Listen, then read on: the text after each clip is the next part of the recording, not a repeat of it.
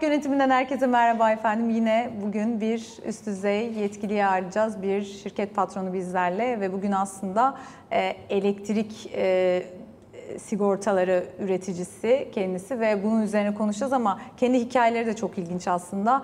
Biraz onları da sormak istiyorum ve elbette herkesin merak ettiği maliyetler tarafı, şu anda sanayicilerin hani son durumu çünkü sanayi tarafında biliyorsunuz ciddi bir ivme kaybı yaşanıyor. Ee, çok uzun süredir aslında üretici fiyatları tüketici fiyatlarının altında ama onlarda maliyet artışlarında başka unsurları var. Hepsini soracağım. Bugün X Koren Elektrik Yönetim Kurulu Başkanı bizlerle Hasan Kaytan hoş geldiniz. Hoş bulduk Gözde Hanım. Teşekkür Çok teşekkür ederim. ediyorum. Şimdi ben tabii hikayenizi biliyorum. Oldukça da ilginç bir hikaye ama ben bunu bir izleyicilerimiz duysun isterim. E, çünkü aslında e, işin çekirdeğinden başlayıp ve çok uzun bir yolculuk, meşakkatli ve çok da böyle tutkuyla yaptığınızı biliyorum işinizi. Nereden bu sektöre girdiniz? Biraz tabii sektörü de e, anlatırsınız. Tabii sektörü de değerlendirelim. X Koren Elektrik aslında benim kendi girişimim. Kendi öz girişimim. Tabii biz çocuk yaşlardan bu yana e, memlekette olsun, işte Ankara'da olsun, İstanbul'da olsun çeşitli sek- sektörlerde hep çalıştık. Hizmet verdik. E, bizim de kendi patronlarımız oldu. Benim her zaman böyle patronlarıma bakarken bir hayal kurardım. Ben de bir gün patron olacağım, ben de bir gün uçağa bineceğim, yurt dışına gideceğim gibi hep hayallerim vardı.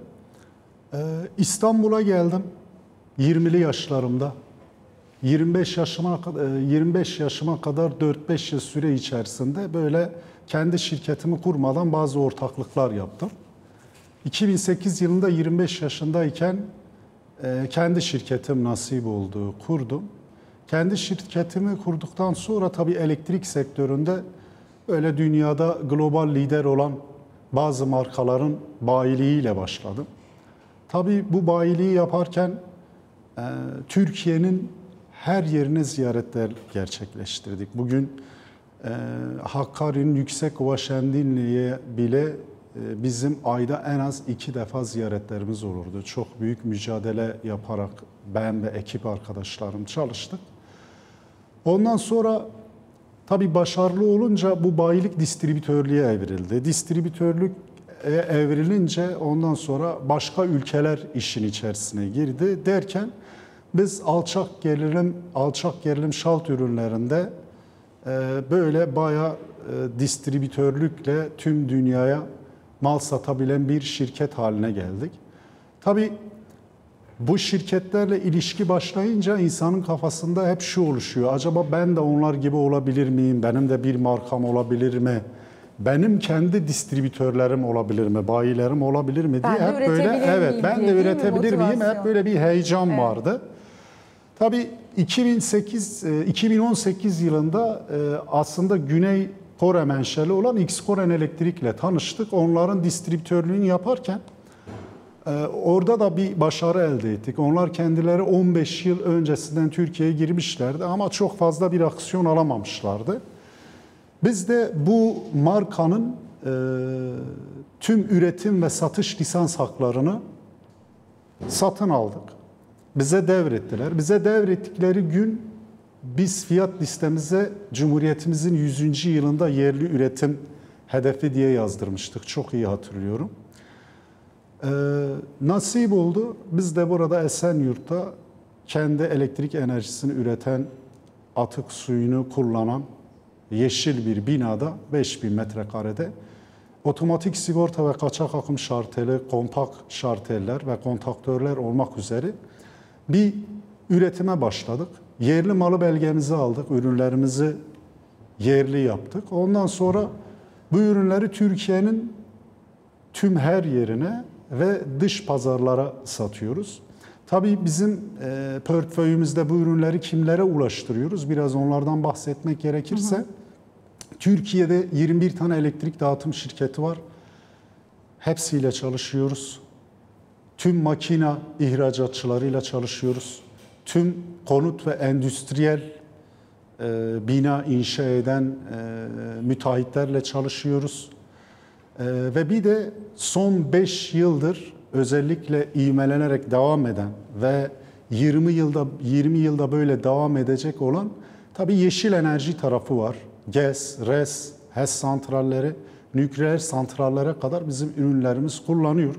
Hem Türkiye'de hem dünyada müşteri portföyümüz bu kişilerden oluşuyor. Biz de elimizden geldiğince dünyanın her tarafına ulaşmaya çalışıyoruz. Ee, Türkiye'de de bu işi yapmaya gayret gösteriyoruz. Evet. Hikayemiz kısaca böyle Gözde Hanım. Evet, yolunuz açık olsun diyelim. Şimdi önümüzdeki dönemde planlar çok aslında ama öyle bir iklim var ki e, maalesef işte sanayi tarafında yavaşlama, artık böyle çarkların giderek e, hani durma noktası demeyeyim o belki çok iddialı olur ama e, ciddi bir yavaşlamadan bahsediyoruz. Yani üst üste özellikle 3 aydır ve piyasada ciddi bir sıkışma olduğu da hissediliyor. Yatırım iştahına geleceğim. Yani tüm bunlara rağmen aslında yatırım yapma hevesindesiniz. Ee, ama genel olarak şu anda işler nasıl gidiyor? Yani maliyetler tarafı nasıl? Yönetilebiliyor mu? Çünkü e, işte Türkiye'de şu anda hani kur en azından stabil. Biz buna enflasyon açısından seviniyoruz ama sizde tabii işçilik maliyetleri bilmiyorum ara zam yaptınız mı? Hani pek çok şirket çünkü yapamadı maalesef. Ee, nasıl görünüyor şu anda? Şimdi ilk öncelikle ücret kısmına geleyim. Maalesef biz de arazam yapamayan şirketler grubundayız. Ee, tabii sanayi çarkları yavaş yavaş düşüyor. Enerji tarafını aslında biraz ayırmak lazım Gözde Hanım. Neden? Çünkü yeşil enerji tarafı var. Yeşil enerji sürekli bir yatırım halinde. Yeni santraller kuruluyor biliyorsunuz dünyanın her tarafında. Biz biraz ayrışsak da e, tabii sanayinin çarkları yavaş yavaş düşüyor. Doğru çünkü maliyetler artıyor. Yalnız bizim piyasamızda bakır ve gümüşten dolayı kendi ürünlerimizde maliyetler neredeyse son çeyrekte yüzde 15'e kadar arttı diyebilirim. Şimdi hem maliyetler artıyor hem işte oturduğunuz binanın masrafları, kiralarınızdır. E, Bir kira bugün Türkiye'de e, yüzde yüzlere yakın maalesef. Konutta da öyle, endüstriyel tesislerde de öyle artıyor. Ondan sonra tabii e, ihracat yapıyorsunuz. Biz de firma olarak gelirlerimizin yarısını dış pazarlardan e, karşılıyoruz. E, tabii döviz elde ediyoruz ama döviz biliyorsunuz son 3-4 aydır adeta kıpırdamıyor ama içeride maliyetler sürekli arttığı için sanayici olarak bunda zorlanıyoruz. Bir de e, hal böyle olunca enflasyonun da herhalde fazla gitmemesi için böyle bir e, kredi sıkışması da var. Sanayiciler krediye ulaşmakta da zorlanıyor. Ee, Ulaşsa da belki bu maliyetlerden de çok hani mantıklı Tabii, doğru. bulmuyorlardır diye düşünüyorum değil mi? Doğru. Çünkü onu fiyatlara yansıtmak da artık çok zor bir hale geldi. çok zor bir hale geldi. Tabii piyasanın sıkışmasının bir başka nedeni de Gözde Hanım şu pandemiden çıkış sürecinde enflasyon yukarıya doğru giderken e, özellikle Türkiye'de bütün herkes inanılmaz bir mal alımına yöneldi. Aslında belki bir yıl işler çok iyi gitti ama e, tüketiciler 2-3 yıllık ürünleri satın alıp aslında stok maliyetine girdiler. Şimdi de işlerin yavaşlamasının nedeni aslında işte bayilerin ve distribütörlerin elinde aslında kendilerine yetecek belki de 2 yıl yetecek kadar ürün bulunması. Neden? Çünkü 2 yıl önce enflasyon nasıl olsa gidecek diye bunlar bir şekilde öz sermayeyle, krediyle alınan ürünler. Hatta şimdi piyasadan şöyle diyorum belki de 2 yıl önce aldıkları fiyatlara insanlar kredi kullanmak yerine ürünlerini bozduruyorlar. O stok maliyetine katlanıp böyle çıkmak istiyorlar. Hal böyle de olunca mecburen sanayide çarklar biraz düşmeye başlıyor. Çünkü ürettiğini kime satacaksın? Nasıl olsa bütün bayilerde, distribütörlerde e, ürün var. Evet. Şimdi sizin mesela ihracat tarafında hemen hemen her yeri var bildiğim kadarıyla ama e, en büyük sorun ne şu anda? Yani ihracat pazarlarının yavaşlaması mı yoksa içeride mevcut hani maliyetleri yönetmek, kurun stabil kalması mı? Nasıl tanımlarsınız? Aslında her ikisinin de yüzde 50-50 diyebilirim. Yani ihracat pazarlarında da bizde olduğu gibi pazarda bir düşüş var. Tabii enerji sektörünü tamamen yine bundan ayırmak gerekir. Bir de içerideki döviz kurunun sabit kalması ihracatta bizi zorluyor. Tabii bizim ne yapmamız lazım? Biz de yerli bir firma olarak dışarıda işte global şekilde çok büyük bir firmaların karşısında rekabet etmekte zorlanıyor muyuz? Tabii zorlanıyoruz. Ama biz bunun için bu zorlanmayı düşünmüyoruz. Neyi düşünüyoruz? Bunu üstesinden nasıl geliriz? O yüzden sürekli koşmaya, bir şeyler geliştirmeye devam ediyoruz. Bizim bir ayağımız yani ihracat pazarında gezen arkadaşlarımız yıl boyunca bizim hiçbir ayağımız Türkiye'de değil. Biz de kendimize yeni pazarlar aramaya başlıyoruz. Avrupa'da işler düşük mü? Tamam Güney Amerika'ya yöneliyoruz. Ee, çeşitli yerlere ziyaretlerimizi çok sık yapıyoruz. Tüm fuarlara Belki Afrika mesela. Tabii tabii elimizden geldiğince gidiyoruz. Mesela sektörümüzün e, sanırım 20-25 Ekim arası Libya'da çok büyük bir fuarı olacak. Biz de o fuarda olacağız. Orada işte Afrika'dan bir sürü müşteri e, ağırlayacağız. E, böyle aşmaya çalışıyoruz Gözde Yani Hanım. alternatif pazarlar Tabii, aslında kesinlikle. yani Hazine ve Maliye Bakanı da hep onu söylüyordu. Alternatif pazar arayışına girin diye ihracatçıları çok fazla uyarıyordu. Çünkü yani Avrupa'nın zaten dinamikleri epeyce bir bozuk. İşte önümüzdeki dönemde faiz indirimleri orayı ne kadar destekleyecek diyoruz. Yani bazı kronik sorunlar var. Ee, Yani dünyada bizde olduğu gibi aynı zamanda. Şimdi gelecek planlarından biraz bahsetmenizi rica edeceğim. Yani evet şimdi zor bir dönem ama e, muhakkak ki bunun da bir e, bitici günü göreceğiz. Oraya da giderken sanayiciler hazırlıklarını yapıyor. Şimdi sizde mesela nasıl bir e, istek var, nasıl bir heves var? Hangi alanlara daha çok yöneleceksiniz? Özellikle burada çünkü ürün skalası geniş e, ya da hangi pazarlar daha çok cazip geliyor size? Tabii. Biz yatırım heveslisi zaten girişimci insanlar genelde Gözde Hanım yerlerinde duramaz. Ee, mutlaka her zaman bir şeyler yapmak ister. Biz de bu yatırımımızı yaptık ama bizim yatırımımızı önümüzdeki 5 yıl süreçte tam 10 kart arttırma benim hedefim var.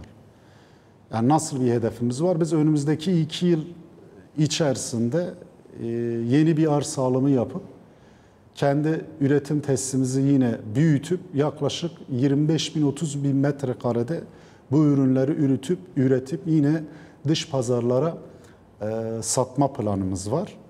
E, bunun yanında e, yeşil enerji tarafında bizim neredeyse 100 megawata yakın bir e, yatırım planımız var. Enerji Şu anda tarafını mesela lisans falan alındı mı yoksa? Evet lis- biz hazır bir yer almayı düşünüyoruz ve buna da gelin 2030 yılına kadar bu enerji günlüklerinde ortaya çıkan Türkiye'de 2030 yılına kadar yıllık 2000 megawatt lisans ihalesi açılacak. Bunlardan bir tanesine girebiliriz veya mevcut bir e, tesis alabiliriz.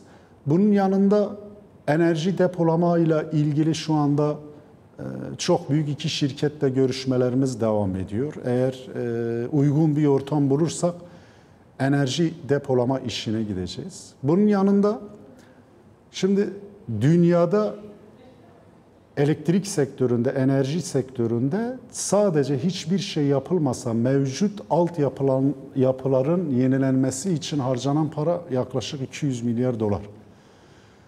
O yüzden mevcut yatırım gelmese bile biz dünyada ulaşabileceğimiz yerlere ulaşıp aslında çok büyük işler yapabiliriz. Yani Özellikle yurt dışında bir fabrika kurmak gibi mi algılasınlar bunu izleyiciler mesela? Yok şu anda öyle bir şey düşünmüyoruz. Sadece dünyanın o çeşitli ülkelerine gidip aslında ne kadar Oradan pazarın bir gibi. büyüklüğü var onu anlatmak istedim. Yani düşünsenize hiçbir yatırım olmadan dünyada mevcut yatırımı devam etmesi için sadece yenilenme için yıllık 200 milyon 200 milyar dolarlık bir pazar var. Yani bu pazarın bindeleri bile bize düşse ne mutlu. Ondan sonra yeşil enerjide biliyorsunuz 2030-50'ye kadar karbon nötr hedefi var. Bu fosil yakıtlardan e, yeşil enerjiye hızlı bir geçiş var. Bunu da zaten tüm e, devletler, tüm ülkeler destekliyor.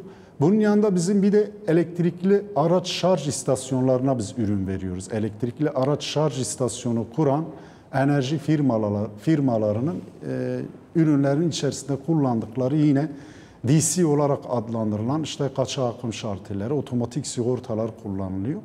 Bu da yeni bir sektör. Şimdi ilk defa sanırım evet Norveç'ti.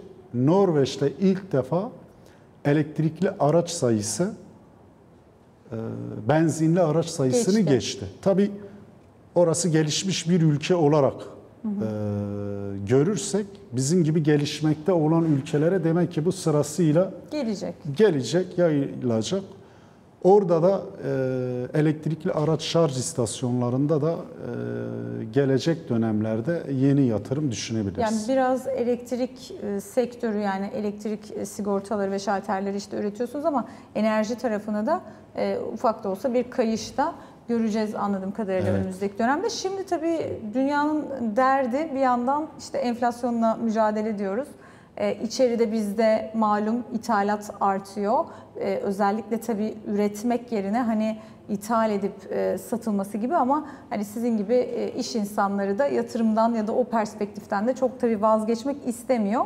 Çünkü neticede bu bir geçici dönem ve e, onu soracaktım. Tam ben de onu arz için söyleyecektim. bir iştah var mı diye yakın Şöyle ben vadede. de onu söyleyecektim. Tabii ki şimdi hepimiz ticaret yapıyoruz. Ekonomi stabil bir şekilde e, gitmez. Her zaman düşüşler olur. Ben bu düşüşlerde aslında fırsatlar olduğuna da inanıyorum. Ben de hayata her zaman fırsat odaklı bakıp e, yaklaşmış bir girişimciyim. Ben şirketi kurduğumda 2008'de Amerika'da mortgage krizi patlamıştı. Herkes diyordu ki ya böyle bir dönemde şirket Niye açılır şey mı? yapıyorsunuz? E, açtık aradan 16-17 yıl geçti. İşte şimdi halka arzı düşünen bir şirket olduk. Şimdi öyle bakmamak lazım. Bunlar e, geçecek. Şu zamanda yani mevcudu koruyan zaten Gözde Hanım şampiyon. Evet. Şimdi yatırımlardan bahsediyoruz. İşte varlık yönetimi programındayız. Neler yapıyorsunuz Şimdi varlıkları aslında şu anda korumak en önemli şey. Yani, Yani tamam. getiri beklentisi Tabii değil de getiri değil mi? beklentisi En değil ama evet. mevcut varlığı korumak, onun için Doğru. çeşitli opsiyonlar almak. İşte bir şekilde bakır ve gümüşün artmasından biz etkileniyoruz. Ondan etkilenmeden işte yurt dışından ham madde bağlamak, bunu opsiyonlamak, işte yeni pazarlar bulmak. Bunlar tabii ki geçecek. Geçtiği zaman ne olacak? Hazır olan, mevcudu koruyan en hızlı şekilde büyüyecek. Ben de kendimiz ve ekibimiz adına bunu düşünüyorum. Ee, böyle hareket edeceğiz. Ee, atlatacağız, geçecek. Halka arz konusuna gelince bizim e, tabii SPK başvurumuz vardı. Kabul edildi. Biz e, bu son çeyreğin sonlarına doğru e, bir halka sermayemizi halka arz edeceğiz olursa. Buradan e, beklediğimiz gelirleri de az önce zaten anlattım bir yatırım düşünüyorduk.